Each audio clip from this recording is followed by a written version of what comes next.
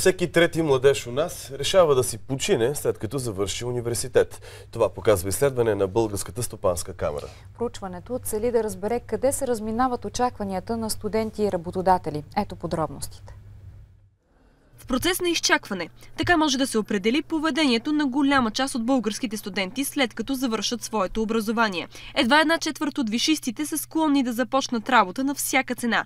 Диан изчаква да намери работа по своята специалност. Завършил е инженерен дизайн преди месеци.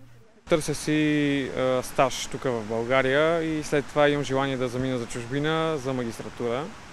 В а, същата специалност, която съм учил тук. Искам да продължа в тази насока.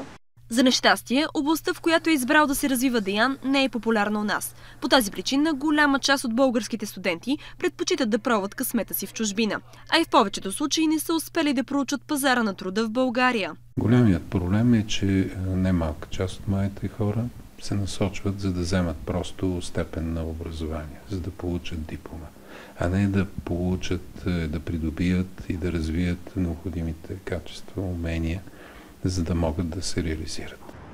Въпреки нагласите на българина, че висшето образование е за цял живот, в новите условия оказва се, че натрупаните знания имат давност до 5 години.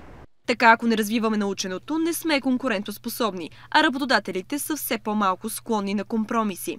Все повече компании, независимо от трудностите, които срещат на пазара, да намерят точно конкретни умения, те са по-склонни да продължат това търсене в някакъв по-дълъг период, вместо да вземат един не толкова обучен и готов кадър за конкретната позиция и да го обучат в вътрешна среда. Според експерти, образованието е твърде откъснато от практиката. Проблем остава и пренасищането на пазара с хуманитарни и економически специалности за сметка на инженерните.